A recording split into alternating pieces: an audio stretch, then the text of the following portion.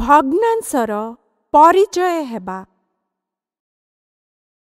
ଆମେ ଯଦି ମାପିବା ଫିତାକୁ ଦେଖିବା ଏଥିରେ ବହୁତ ସଂଖ୍ୟା ଅଛି ଆମେ ପାଇଲେ ଏବଂ ଏହି ସଂଖ୍ୟା ମଧ୍ୟରେ କିଛି ଗାର ଅଛି। ମାପିବା ଫିତାର ସଂଖ୍ୟାଗୁଡ଼ିକୁ ଇଞ୍ଚ କୁହାଯାଏ ଯେତେବେଳେ କି ପ୍ରତି ଗାର ଏକ ଏକ ଇଞ୍ଚ ଦର୍ଶାଉଛି ଯାହାକି ଭଗ୍ନାଂଶର ଏକ ପ୍ରକୃତ ଅଂଶ ଅଟେ। ଏହି ଅଧ୍ୟାୟରେ ଆମେ ଭଗ୍ନାଂଶ ବିଷୟରେ ପଢ଼ିବା।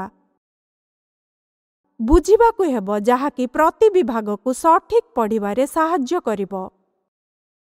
ଶେଷ ଅଧ୍ୟାୟରେ ଆପଣ ପାଇବେ ଭଗ୍ନାଂଶକୁ ବ୍ୟାଖ୍ୟା କରିବା ଭଗ୍ନାଂଶର ସଂଖ୍ୟାକୁ ପଢ଼ିବା ଏବଂ ଲେଖିବା। ଆପଣ ଜାଣନ୍ତି କି ଆପଣ ପ୍ରକୃତରେ ପ୍ରତିଦିନ ଭଗ୍ନାଂଶକୁ ବ୍ୟବହାର କରୁଛନ୍ତି? ହଁ ରୋଷେଇ କରିବା ବେଳେ ଆପଣ ସବୁଦିନ ବ୍ୟବହାର କରୁଛନ୍ତି। ଯେପରି ତୁମେ କେତେ ପରିମାଣର ସଉଦା ବ୍ୟବହାର କରୁଛ।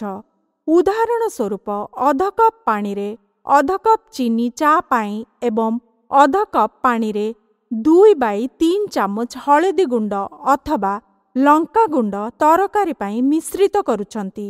ଏହିପରି ଭାବରେ ପ୍ରତିଦିନ ଆପଣ ପ୍ରକୃତ ଭଗ୍ନାଂଶକୁ ବ୍ୟବହାର କରୁଛନ୍ତି।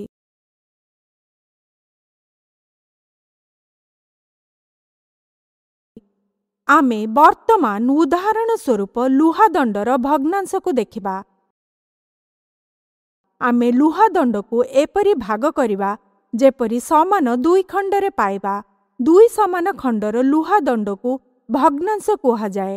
ତେବେ ଏହି ଭଗ୍ନାଂଶ ସମ୍ପୂର୍ଣ୍ଣ ଦଣ୍ଡର ଏକ ଅଂଶ ଦର୍ଶାଉଛି। ଯେତେବେଳେ କୌଣସି ବସ୍ତୁ ଦୁଇ ଭାଗରେ ବିଭକ୍ତ ହୁଏ ତେବେ ପ୍ରତି ଖଣ୍ଡକୁ ଭଗ୍ନାଂଶ କୁହାଯାଏ। ବର୍ତ୍ତମାନ ଆସନ୍ତୁ ଆମେ ଭଗ୍ନାଂଶକୁ ଆକାର ଦେବା। ଆପଣ ଦେଖିପାରିବେ ଭଗ୍ନାଂଶ ଅଙ୍କରେ ଲିଖିତ ଥାଏ ଏବଂ ଏହାର ମଧ୍ୟରେଖା ଏବଂ ପରବର୍ତ୍ତୀ ସଂଖ୍ୟା ତଳକୁ ଲେଖାଥାଏ ତଳେ ଲେଖାଯାଇଥିବା ସଂଖ୍ୟା ମିଶ୍ରିତ ସଂଖ୍ୟା ଦର୍ଶାଉଛି। ଦୁଇ ସମାନ ଭାଗକୁ ଯୋଡ଼ିଲେ ଦୁଇ ହେବ। ଆମେ ସେହି ଭଗ୍ନାଂଶକୁ ଅଧା ପରି ଲେଖିପାରିବା।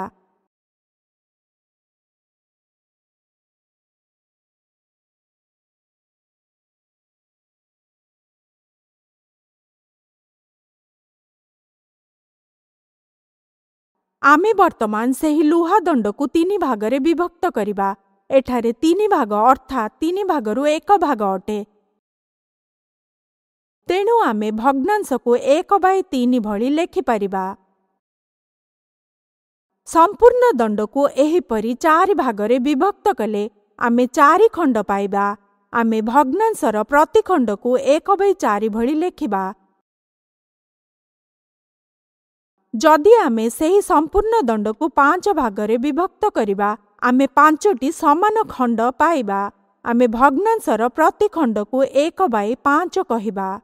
ବର୍ତ୍ତମାନ ଆମେ ସେହି ସମ୍ପୂର୍ଣ୍ଣ ଦଣ୍ଡକୁ ଛଅ ଭାଗରେ ବିଭକ୍ତ କଲେ ଛଅ ସମାନ ଖଣ୍ଡ ପାଇବା। ଆମେ ଭଗ୍ନାଂଶର ପ୍ରତି ଖଣ୍ଡକୁ ଏକ ବାଇ ଛଅ ଭଳି ଲେଖିପାରିବା। ଆମେ ଆଉ ଥରେ ସେହି ସମ୍ପୂର୍ଣ୍ଣ ଦଣ୍ଡକୁ ସାତ ଭାଗରେ ବିଭକ୍ତ କରି ସମାନ ଖଣ୍ଡ ବାହାର କରିବା ଆମେ ଭଗ୍ନାଂଶର ପ୍ରତି ଖଣ୍ଡକୁ ଏକ ବାଇ ସାତ କହିବା। ଶେଷରେ ସେହି ଦଣ୍ଡକୁ ଆଠ ଖଣ୍ଡ କଲେ ପାଇବେ ପ୍ରତି ଖଣ୍ଡକୁ ଏକ ବାଇ ଆଠ ଭଳି ଲେଖିବା। ଏହି ଅଧ୍ୟାୟରେ ଆମେ ଶିଖିଲେ କିପରି ପଢ଼ିବା ଏବଂ ଯାହାକି ଅଧା ଏକ ବାଇ ତିନି ଏକ ବାଇ ଚାରି ଏକ ବାଇ ପାଞ୍ଚ ଏକ ବାଇ ଛଅ ଏକ ବାଇ ସାତ ଏବଂ ଏକ ବାଇ ଆଠ ଅଙ୍କରେ ଦର୍ଶାଉଛି ଏହି ଅଧ୍ୟାୟରେ ଆମେ ଶିଖିଲେ କିପରି ପଢ଼ିବା ଏବଂ ଯାହାକି ସମାପ୍ତ କରିବା ପୂର୍ବରୁ ଏହାର ମୁଖ୍ୟ ସଂଖ୍ୟା ଉପରେ ଧ୍ୟାନ ଦେବା।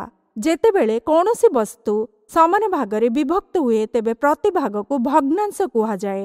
ଭଗ୍ନାଂଶକୁ ସଂଖ୍ୟାରେ ଲେଖାଯାଏ ଏବଂ ଏହାର ମଧ୍ୟଗାରର ତଳକୁ ଏକ ସଂଖ୍ୟା ଲେଖା ହୋଇଛି। ସଭା ତଳେ ଲିଖିତ ସଂଖ୍ୟା ସଦାବେଳେ ପ୍ରତି ଭାଗର ସମଷ୍ଟି ଅଟେ। ଯେତେବେଳେ ଏକ ବସ୍ତୁକୁ ଅନ୍ୟ ଭାଗରେ ବିଭକ୍ତ କରିବା ତେବେ ଭଗ୍ନାଂଶର ପ୍ରତି ଭାଗର ଏକ ଭାଗ ବୋଲି ଲେଖିବା। ଏଥିସହିତ ଆମେ ଏହି ପାଠର ଶେଷରେ ପହଞ୍ଚିଗଲେଣି।